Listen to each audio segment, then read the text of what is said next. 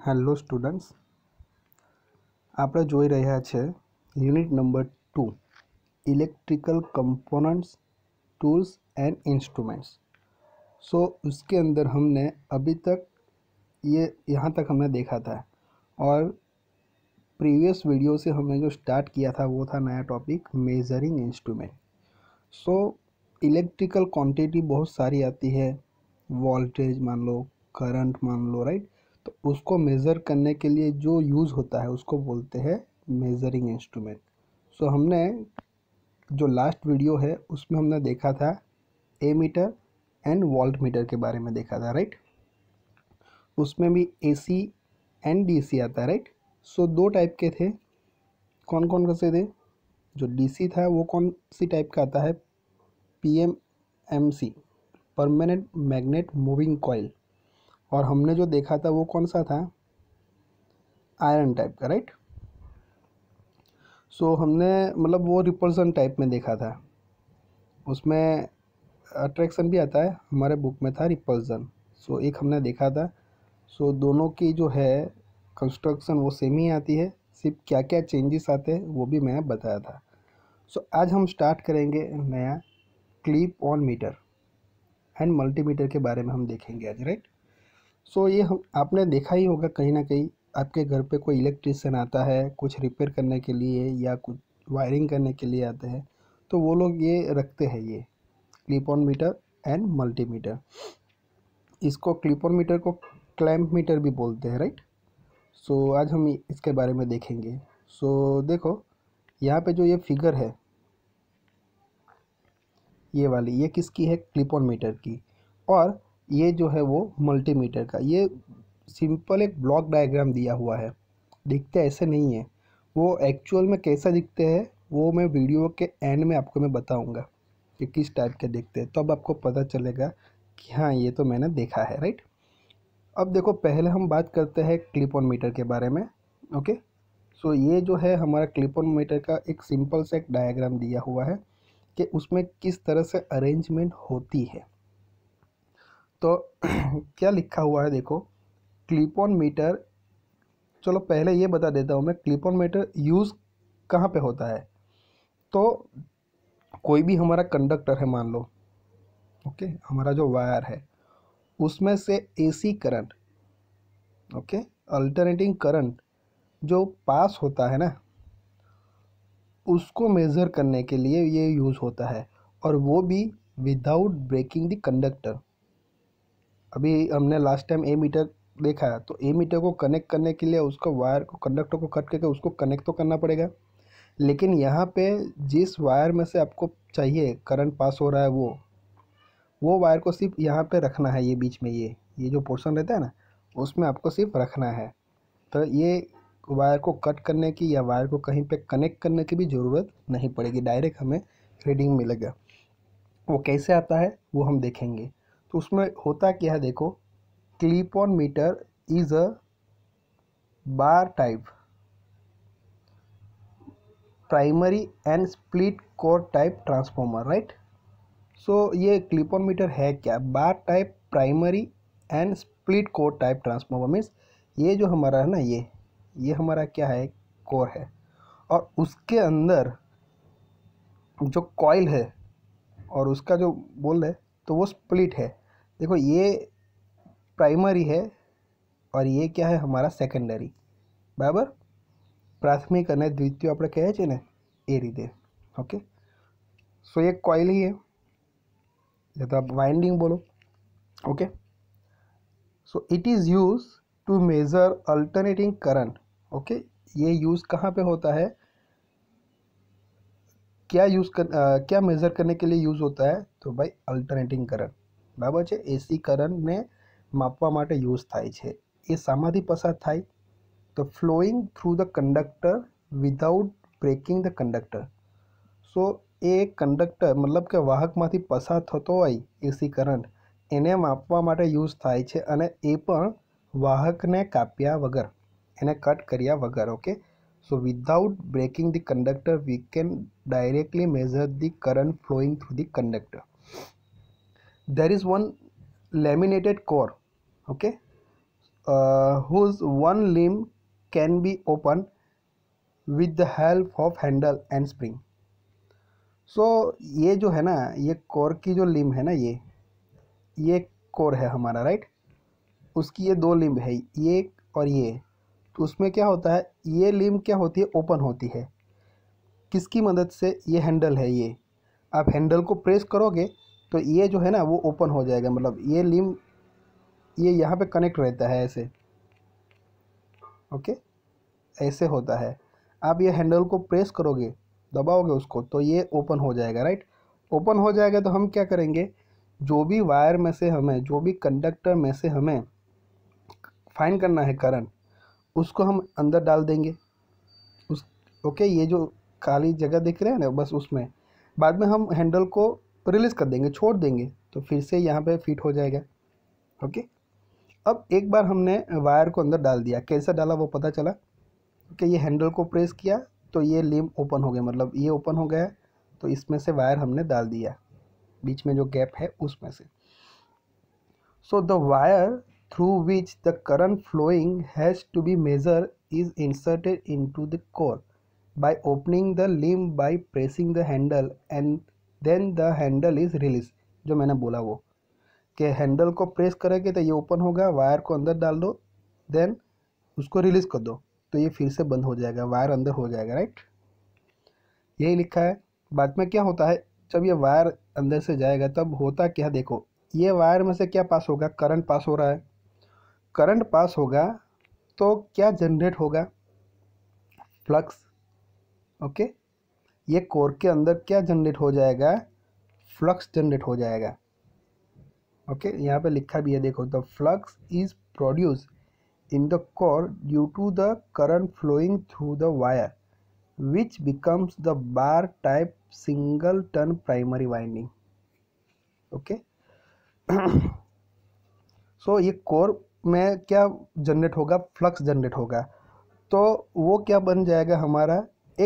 ये देख रहा है ना ये एक प्राइमरी वाइंडिंग बन जाएगी हमारी सिंगल टर्न की ओके उसके अंदर एक ही टर्न होगा राइट कॉयल में हम वाउंड करते हैं ना नंबर ऑफ टर्न्स तो यहाँ पे है नहीं लेकिन ये बन जाएगी कब बनेगी जब इसमें से करंट पास होगा तब ये कोर के अंदर क्या प्रोड्यूस होगा फ्लक्स બરાબર આપણે જોયું હતું આ ફ્લક્સ જનરેટ થશે બરાબર એટલે એક બાર ટાઈપનું મતલબ આયરવા સિંગલ ટર્ન આપણું શું થઈ જશે પ્રાઇમરી વાઇન્ડિંગ કોઇલ જેવું બરાબર એ બની જશે so due to the alternating flux the EMF is induce in the secondary winding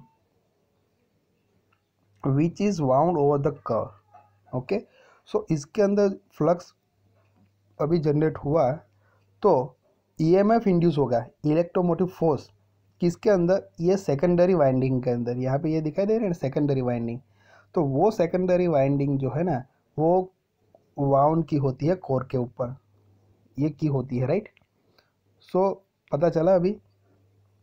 so so, यहाँ से करंट फ्लो होगा तब कोर के अंदर फ्लक्स जनरेट होगा and it's become a single turn bar type primary winding and उसकी वजह से ई एम एफ़ इंड्यूस होगा किसके अंदर? ये सेकेंडरी वाइंडिंग तो यहाँ पे जो है कोर के ऊपर वाइंडिंग की होगी राइट कॉइल बनाई होगी।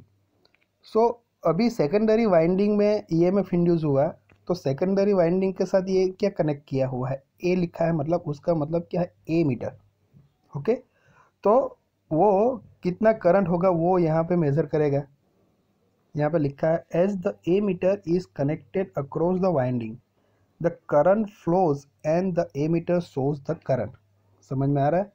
सो so, यहाँ पे क्या कनेक्ट किया है? ए मीटर तो उसमें से करंट पास होगा और कितना करंट होगा वो ये ए मीटर हमें बताएगा सो so, आ गया कि ये वायर को हमने कहीं पे कनेक्ट किया कहाँ से हमने कट किया नहीं किया डायरेक्टली हमें आंसर मिल गया राइट सो so, ये हुआ क्लिप ऑन मीटर के बारे में बहुत इजी है ऐसे यहाँ पे गुजराती में ही लिखा है ઓકે ક્લિપ ઓન મીટર એ બાર પ્રકારની પ્રાઇમરીવાળું સ્પ્લિટ કોર પ્રકારનું કરંટ ટ્રાન્સફોર્મર છે બરાબર આપણે જે રીતે જોઈ ગયા એ.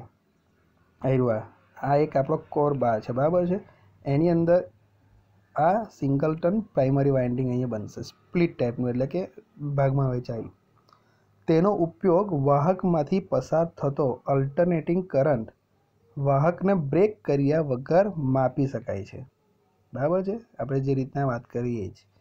ક્લિપોન મીટરમાં એક લેમિનેટેડ કોર છે જેનું એક લીમ હેન્ડલ દબાવવાથી ખુલે છે. એટલે આપણે આ હેન્ડલને આપણે દબાવીશું, તો આ આ જે એક છે ને, આ લીમ એ ખુલી જશે. પછી એની અંદર આપણે શું નાખવાનો છે? વાયર. સો જે ઇન્સ્યુલેટેડ વાહકમાંથી પસાર થતો અલ્ટરનેટિંગ કરંટ માપવાનો હોય, તે વાયર કોરની અંદર આવે, એ રીતે દાખલ કરી હેન્ડલને રિલીઝ કરવામાં આવે છે. બરાબર છે? કોરમાં ફ્લક્સ ઉત્પન્ન થાય છે. અને સેકન્ડરી વાઇન્ડિંગમાં શું થશે? ઈએમએફ ઇન્ડ્યુસ થશે એના લીધે. ફ્લક્સ પ્રાઇમરીમાં થશે. એટલે કે પ્રાથમિક જે વાઇન્ડિંગ બની જાય ને તેમાં. અને એના કારણે જે બીજી વાઇન્ડિંગ છે સેકન્ડરી વાઇન્ડિંગ તેની અંદર ઈએમએફ જનરેટ થશે. અને એની સાથે શું જોડેલું હોય છે? એ મીટર સો એના કારણે શું થશે? કરંટ પાસ થશે એ મીટરમાંથી અને કેટલો કરંટ છે એ માપી લેશે. તો દેવ, આ જે ફિગર છે એ શું છે? તમારી ક્લિપ ઓન મીટરની છે. બરાબર છે? આ એક ડિજિટલ ટાઈપનું છે આ એના જે બધા ઘણા બધા ફંક્શન છે એના સિલેક્ટ કરવા માટે આપવામાં આવ્યું હોય છે અને આ તમે પ્રેસ કરો આ તમારું હેન્ડલ છે અહીંયા પ્રેસ કરો એટલે આ શું થશે આ ભાગ ઓપન થશે એની અંદર આપણે જે વાયરમાંથી આપણે કરંટ માપવાનો હોય તે નાખી દેવાનો બરાબર છે બંધ કરી દેવાનું બીજું કશું થશે નહીં એટલે આપણે ચાલુ વાયરિંગમાં પણ કોઈ પણ વાયરને આપણે કટ કરવો પડશે નહીં વાહકને બરાબર સો આ એક એકચ્યુઅલ ફિગર છે તમારા ક્લિપોન મીટરની ચાલો તો આપણે નેક્સ્ટ જોઈશું मल्टीमीटर राइट सो मल्टीमीटर उसका नाम मल्टीमीटर क्यों है पहले तो हमने अभी तक देखा करंट मेज़र करने के लिए देन डी वोल्टेज मेज़र किया एसी भी मेज़र किया डीसी भी मेज़र किया ઓકે ઓર અમે રજિસ્ટન્સ મતલબ અવરોધક કેટલો છે એ પણ આપણે માપવો છે બરાબર તો બધા માટે અલગ અલગ આપણે ઇન્સ્ટ્રુમેન્ટ યુઝ કરીએ એના કરતાં એવું કરીએ તો કોઈ એક જ એવું બનાવીએ, એક જ એવું મીટર બનાવીએ કે એ કરંટ પણ મેઝર કરશે વોલ્ટેજ પણ મેઝર કરશે એસી અને ડીસી બંને ત્યાર પછી રજિસ્ટર પણ મેઝર કરશે. બરાબર છે? અલગ અલગ રેન્જના એક જ મીટરની અંદર બધું આવી જાય. તો શું કહેવાય? મલ્ટીમીટર કહેવાય કે એ મીટર શું કરશે? મીટર એ મલ્ટિપલ નંબર ઓફ ક્વોન્ટિટી એટલે કે ઘણી બધી ઇલેક્ટ્રિકલ ક્વોન્ટિટી જે છે, એનું શું કરશે? માપન કરશે. ખ્યાલ આવી ગયો તમને, એને મેઝર કરશે સિમ્પલ સો આપણે એ મીટર જોયું તો એ મીટર શું કરે? ખાલી કરંટ જ કરે છે. વીજ પ્રવાહનું જ માપન કરે છે. વોલ્ટ મીટર હોય તો એ શું કરશે? તે ખાલી વોલ્ટેજ સમજ પડી? સો આ એક જ મીટર છે કે એ ઘણી બધી ક્વોન્ટિટીનું મેઝર કરે છે. એટલે એને શું કહેવાય છે? મલ્ટીમીટર કહેવાય છે. બરાબર? તો આ એક સિમ્પલ ડાયાગ્રામ આપવામાં આવ્યો છે મલ્ટીમીટરનો કે કેવી રીતે કરશે? તો મોસ્ટલી આપકો મેં બોલું कि वो क्या करता है मल्टीमीटर सारी जो क्वांटिटी है उसको वोल्टेज के टर्म में वो मेज़र करेगा। वो कैसे? तो देखो अभी ये इनपुट में कोई भी क्वांटिटी मेज़र करनी है वो है यहाँ पे। आप आ, अंदर एक स्विच सी होगी। उसको आप रोटेट करोगे जिसके साथ कनेक्ट करोगे जो मेज़र करना है वो आप कर सकते हो। तो ये डी सी वी लिखा है मतलब डी सी वोल्टेज मेज़र करना है तो ये स्विच को यहाँ पे कनेक्ट करो। तो यहाँ पे क्या आएगा डीसीवी तो वो क्या होगा, पहले जो है वोल्टेज है किसके अंदर जाएगा? वोल्टेज डिवाइडर के अंदर। मतलब वोल्टेज डिवाइडर क्या करेगा? यहाँ पे जो भी वोल्टेज की वैल्यू होगी डीसी वोल्टेज की, उसको थोड़ा कम कर देगा। ओके नानी बनाए जैसे और उसको कहाँ पे भेजेगा?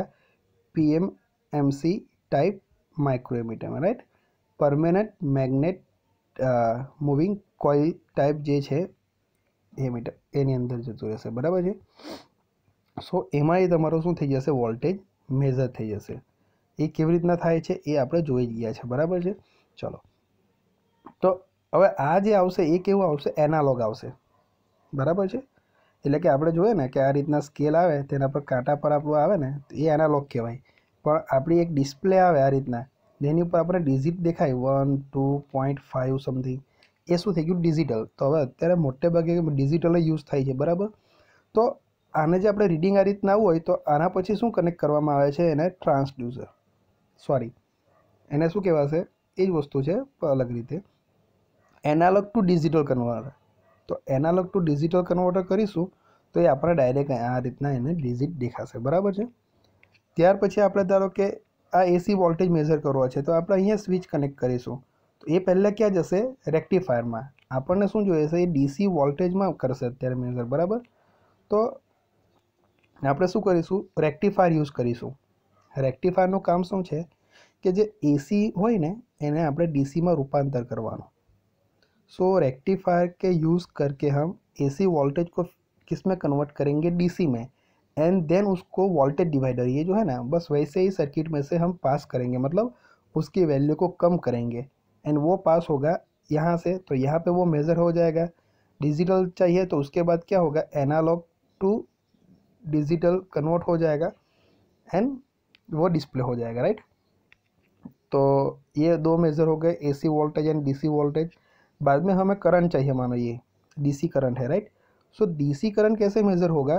तो यहाँ पे क्या होता है? संट कनेक्ट किया होता है ओके सो so, एक लोड होता है मान लो उसमें से करंट पास होगा तो उसके अंदर से जितना वोल्टेज ड्रॉप होगा एक रजिस्टेंस ही होता है संट में कितना वोल्टेज ड्रॉप होता है जितना वोल्टेज ड्रॉप होगा वो यहाँ पे जाएगा और जितना वोल्टेज ड्रॉप होगा वो कितना होगा करंट जितना ही होगा उसके प्रोपोर्शनल में होगा બરાબર છે સમજ પડી જ્યારે કરંટ આ શન્ટમાંથી પસાર થશે ત્યારે વોલ્ટેજ ડ્રોપ જે બી મળશે ને એ શું હોય કરંટના સપ્રમાણમાં હોય છે બરાબર સો એ વોલ્ટેજમાં મળી ગયું આપણને. તો એ અહીંયા મેઝર થઈ જશે. અને ત્યાર પછી એ એનાલોગ ટુ ડિજિટલમાં જશે. બરાબર છે? ચાલો. તો ત્યાર પછી શું છે? નેક્સ્ટ આપણે રજિસ્ટર મેઝર કરવાનો છે. આર અવરોધક. તો એને આપણે આ રીતે કનેક્ટ કર્યું છે. કોની સાથે? ઓમ્સ કન્વર્ટરમાં મતલબ શું હોય છે? એમાં શું કરવામાં આવે છે? કે એક ફિક્સ કરંટને પાસ કરવામાં આવે છે. એની વેલ્યુ ફિક્સ રાખવામાં આવે છે, બરાબર? અને એમાંથી પસાર કરવામાં આવે છે તો વોલ્ટેજ ડ્રોપ જોવામાં આવે છે. તો તેના કરંટની વેલ્યુ કેવી હોય છે? ફિક્સ હોય છે, બરાબર? અને વોલ્ટેજ ડ્રોપ મળે તો ઓમ સ્લો પરથી આપણને આર મળી જશે. તો કેટલા વેલ્યુનો, કેટલી કિંમતનો આપણો અવરોધક છે એ આપણને ખબર પડી જશે, બરાબર? એ પાછી સેમ પ્રોસેસ થશે. ખાલી અહીંયા જ બદલાશે, દરેક ક્વોન્ટિટી વાઇઝ કે સ્ટાર્ટિંગમાં શું કરવાનું છે? सो देखो, यहाँ पे है ना, बहुत ही, आपको बोलूँ तो बहुत ही मतलब बहुत ही शॉर्ट में दिया हुआ है ये सब कुछ। मैंने थोड़ा आपको डिटेल में बताया है तो आपको जो पॉइंट याद रहे तो उसी हिसाब से आपको लिखना है राइट कि यहाँ पे fix amount of current is passing through the register and from that we will get the voltage, okay? So, we know the value of current and voltage drop across the register so from that we can get the value of resistor here to measure the dc current passing through the shunt so simply just measure the voltage drop across the shunt so we know the value of shunt means resistor r and voltage drop so we will get the answer of current so, यहाँ पे जो है ना क्या चाहिए एक voltage ही चाहिए वो भी डीसी में कम वैल्यू का राइट तो वो ही एक कॉइल में से पास होगा मतलब परमानेंट मैग्नेट मूविंग टाइप की कॉइल में से तो उसको मेज़र करेगा ओके समझ में आ रहा है? ओके तो देखो, यहाँ पे मैं आपको बताता हूँ, एक मल्टीमीटर के बारे में लिखा है। थोड़ा शॉर्ट में है। देखो, उससे बाद हमने बोला कि भाई वोल्टेज मेज़र करेगा करंट मेज़र करेगा रजिस्टर मेज़र करेगा। उसके बाद और एक भी फ़ंक्शन दिया होता है, जो ट्रांजिस्टर आता है, वो हम इलेक्ट्रॉनिक्स पोर्सन है, हमारा यूनिट नंबर फाइव ओके, उसमें हम देखेंगे, ओके? पता चला? ट्रांजिस्टर उसमें आएगा, डायोड, ट्रांजिस्टर एससीआर तो ट्रांजिस्टर दो टाइप के आते हैं, एक तो एन पी एन टाइप के आते हैं, दूसरा आता है पीएनपी टाइप का। तो उसका टेस्टिंग करना हो तो वो भी मल्टीमीटर में होता है। ये बुक में लिखा नहीं है, लेकिन आप लिख सकते हो कि multimeter can be use to measure the voltage, current and resistance, okay?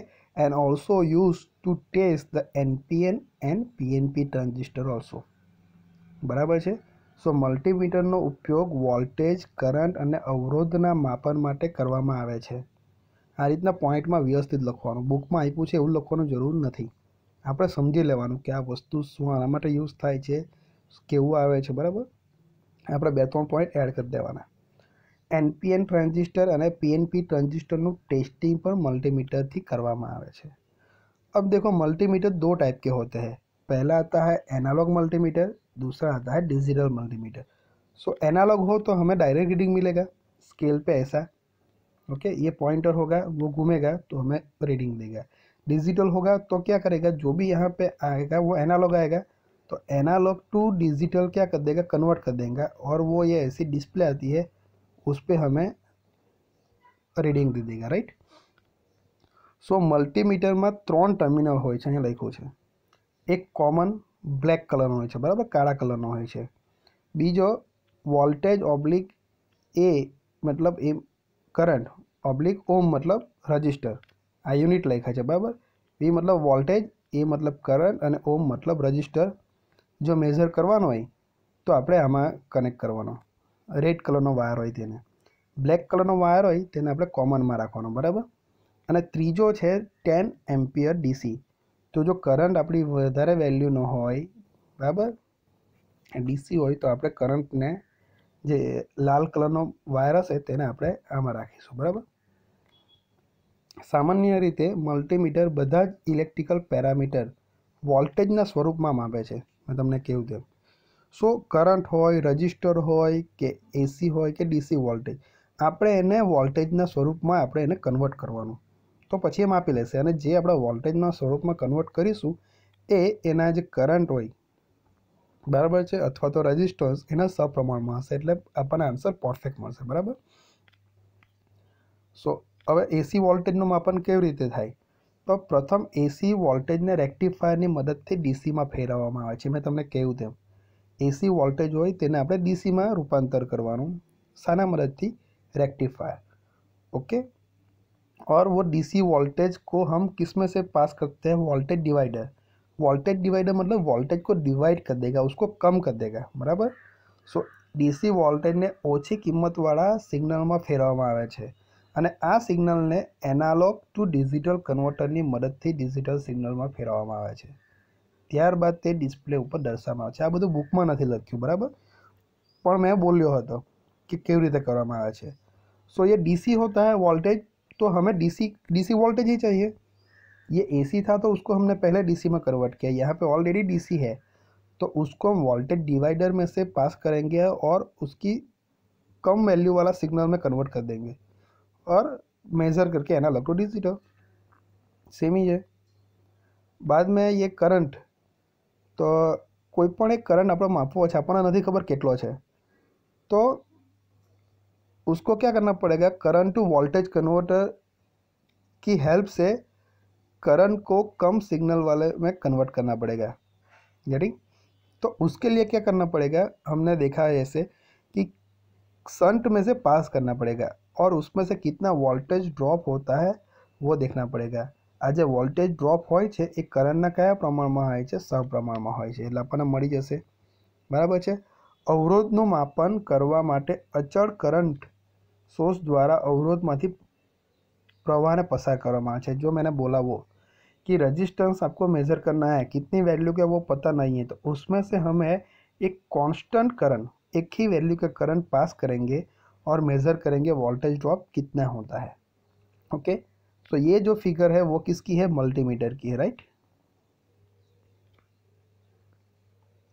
क्यों? क्योंकि ये बहुत सारी क्वांटिटी को मेज़र करता है। आपको दिखाई देगा, यहाँ पे दो वायर्स है एक तो एक रेड है एंड ब्लैक है। तो जो मैंने बताया जैसे तीन यहाँ पे पॉइंट होते हैं ना मेन टर्मिनल तो देखो, ये जो कॉमन है, ये सी ओ एम लिखा है वो ब्लैक कलर तो ये ब्लैक कलर का जो है ना वो यहाँ पे इंसर्ट करना है। और रेड कलर का आपको वोल्टेज करंट या रजिस्टर मेज़र करना है तो यहाँ पे। Ten ampere DC current measure करना है तो ये रेड को रेड को यहाँ से निकाल के यहाँ पे कनेक्ट कर दो राइट सो यहाँ पे ये जो है दिया हुआ है एक पॉइंटर उसकी, उसको हम मतलब रोटेट कर सकते हैं सेट कर सकते हैं। हमें क्या मेज़र करना है? मान लो कि हमें ये वोल्टेज मेज़र करना है, वो भी एसी में तो ये रेंज दी है। अभी मान लो कि आपको ट्वेंटी वोल्ट की रेंज दी है सो वो ट्वेंटी वोल्ट तक मेज़र करेगा। अभी आपका वोल्टेज 50 वोल्ट है तो आपको रेंज ज़्यादा करनी पड़ेगी। पहले यहाँ पे था, बाद में यहाँ पे कर दो राइट यहाँ पे डीसी वोल्टेज मेज़र होता है ये रेंज के। आपको वो घुमाना रहता है राइट देन ये करंट यहाँ पे मेज़र होता है। यहाँ पे रजिस्टेंस मेज़र होता है गेटिंग अब ये जो दिया हुआ है, यहाँ से हम पीएनपी एंड एनपीएन टाइप का ट्रांजिस्टर है, उसको टेस्ट कर सकते हैं। और एक बात बोलूँ कि मल्टीमीटर का यूज़ है ना, और एक भी है कंटिन्यूटी मेज़र करने के लिए। हमारी कोई भी सर्किट है मतलब बिगड़ गया है हमारा मान लो कि अभी कुछ चल नहीं रहा है इंस्ट्रूमेंट कोई हमारा डिवाइस हम उसको रिपेयर करेंगे। तो पहले तो वो देखेगा कि अभी क्या उसके अंदर बहुत सारे कंपोनेंट होता है कौन सा कंपोनेंट डैमेज हो गया है वो कैसे मेज़र करेगा कैसे पता चलेगा हर एक जो लाइन होती है ना उसकी कंटिन्यूटी वो चेक करेगा। अभी कंटिन्यूटी नहीं आएगी तो पता चलेगा कि यहाँ पे कुछ ना कुछ प्रॉब्लम है राइट सो so, इस तरह से मल्टीमीटर कंटिन्यूटी चेक करने के लिए भी यूज़ होता है।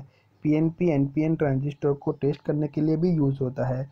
रजिस्टेंस मेज़र करने के लिए भी यूज़ होता है। वोल्टेज एंड करंट ये बहुत सारी क्वांटिटी को मेज़र करने के लिए यूज़ होता है। इसलिए इस मीटर को क्या बोला जाता है?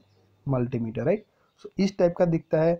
कोई बार है ना ब्लैक कलर का होता है वो डिपेंड करता है कि कौन सी मैन्युफैक्चरर कंपनी है राइट वो मैन्युफैक्चरर पर डिपेंड करता है किस तरह से बाहर का मॉडल बनाते हैं।